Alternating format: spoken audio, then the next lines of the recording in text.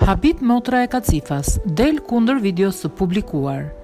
Ermioni Kacifas, motra e të ndjerit Kostandino Kacifa, ka folur në televizionin grek Antena 1 për ngjarjen e rëndë që ndodhi më 28 tetor në fshatin Bularat. Sipas saj, vdekja e vëllait ishte diçka e planifikuar paraprakisht, Ai ishte një objektiv, e ndiqnin për ditë e muaj, ai nuk do të bënte asgjë. Kush dha urdhrin për të bërë këtë ekzekutim? Nuk mund të priste policia, tha ajo. Sipas Ermionit, vëllai i saj, Kostandino, nuk do t'i bënte keq askujt.